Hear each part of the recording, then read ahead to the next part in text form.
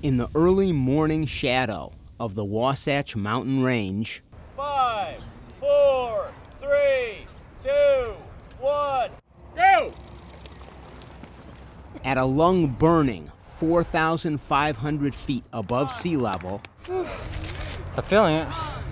Your task is to conduct a range run stress test. Given a designated course, begin. Get it, Barnes. Get it, man. The 2015 Army National Guard Best Warrior competition unfolds on the 25,000 acre high desert plain and one of the premier National Guard training sites, Camp Williams, Utah. It's uh, it's a trem tremendous opportunity. You know, there's no, it, not too many states that get this opportunity, so for it to be held in Utah, it's tremendous. Not only showcase the competitors, the warriors that are competing, but also the support team that is putting on this excellent event and the training opportunity that both audiences will get at the end of the day.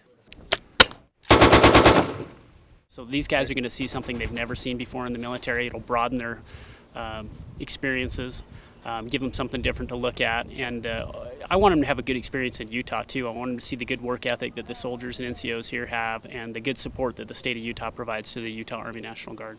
For 72 grueling hours, seven events test the very mettle and soul of these 14 elite soldiers. Over look at your target, see if he hits it. It tests every part of my being, my body, my person. Um, some people go out and do ultra marathons, they do triathlons. Mm -hmm. I enjoy doing this to see where, uh, how far I can push myself.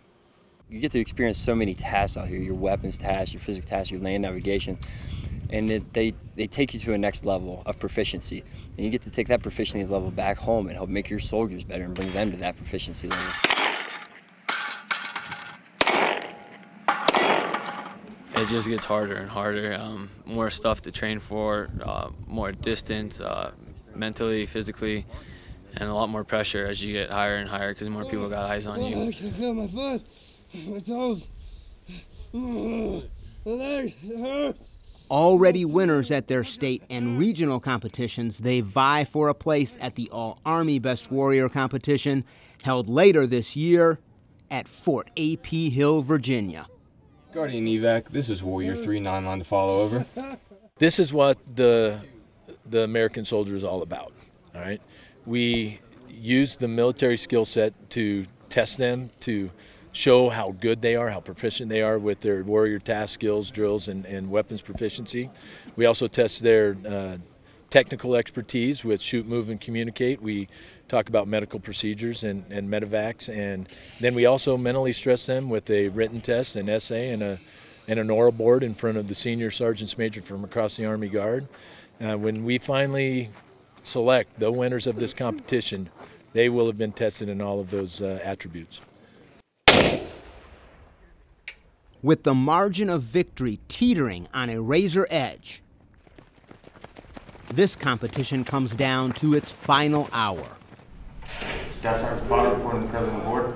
With 1,050 points available in this year's Army National Guard Best Warrior competition, it all comes down to this, Event 7 and the board, with a 400-point swing available to the winners.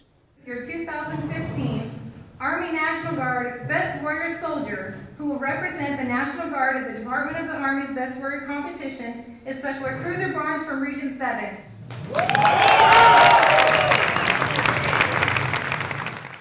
Uh, kind of in shock, you know, I didn't freaking, um, it's crazy. Is Sergeant Robert T. Cunningham from Region 2.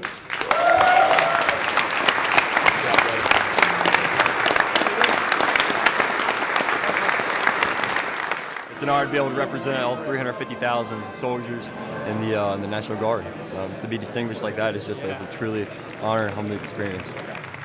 Reporting from Camp Williams, Utah, for National Guard Bureau of Public Affairs, I'm Army Master Sergeant Paul Muliso.